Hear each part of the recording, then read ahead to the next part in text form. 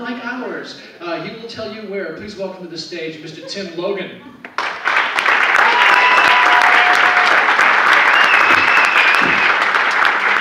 Wow, this is beautiful. Look at this. This is beautiful. Look, there's groups of people. It's not even just a flat row. It's we're friends, and then we're we're friends, but one of them didn't come, and then we're friends, and then we're friends. And then at the end of the night, everyone fights or has a drink of wine and listens to jazz, um, eats some fine cheese.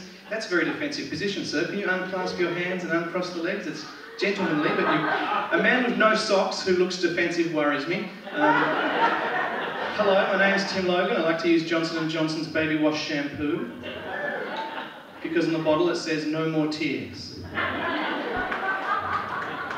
I find that very comforting.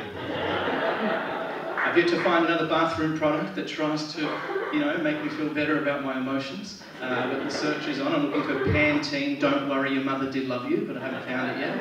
Um, I need to believe that ghosts are real. Does anyone here believe in the supernatural? They are real. Was that, that was a ghost? Uh, we're in a theatre, there's probably ghosts here. I need to believe they're real because I don't want to live in a world where Roadhouse is Patrick Swayze's most realistic film. Don't want to live in that world.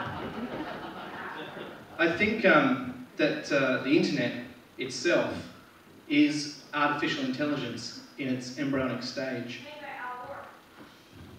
It's not a two-way street.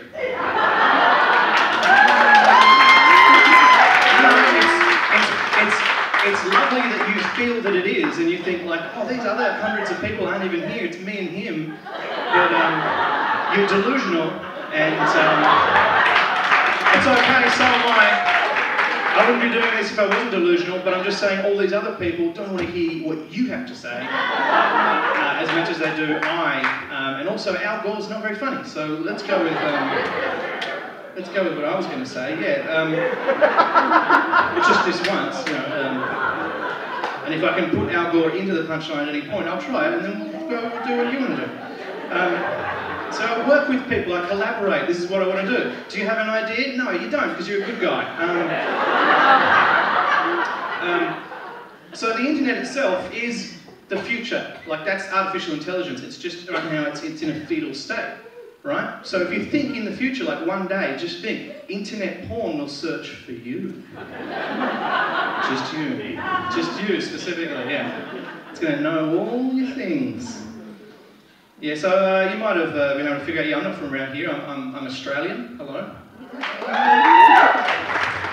This is what Australia, I like that that gets applause. I am from this part of land mass. Um, it's what, uh, oi, oi, oi, thank you. Um, this is what an Australian sounds like. A lot of Americans don't really know what we sound like. Uh, they, they just assume that we sound like this. Look out, Olivia, there's a wallaby in the office. Um, that hurts me quite a bit because we don't sound like that. I say to people, uh, oh, I'm from Australia, and they say, oh, oh, oh, yeah, Australia, Crocodile Dundee, eh? And I say, first off, fuck you, you're Canadian.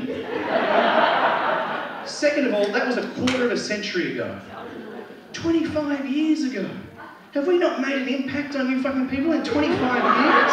Have we done nothing? Did Steve Irwin die for nothing? Of course he didn't, I know that. We sacrifice a celebrity every 100 years so that we can stay in Australia. That's what we do, because it's a very dangerous place there. So every, every century we, we take someone to Ayers Rock or Uluru and we, and we kill them with a stingray.